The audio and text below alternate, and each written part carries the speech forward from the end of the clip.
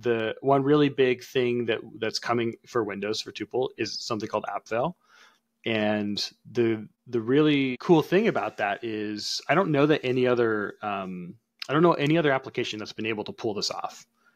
Um, but it's basically lets you share your screen and exclude applications from your screen share. Um, so we we were able to implement this on Mac OS with some difficulty, and with a lot of difficulty, I was able to figure out a way to do this on Windows. Um, and it involved having to add something called the Windows hook because Windows doesn't let you exclude other windows from a screen capture, but they do have a mechanism to do it. You just can't do it for other processes. So I ended up finding a way to get around that using this hooks mechanism um, so yeah, we, we were able to get it working on Windows. You're able to exclude windows. You're able to see which windows are excluded with a fancy little border that follows it around, um, and it all uh, runs pretty smoothly. Um, and so we're we're excited for people to try it out and and see how it goes.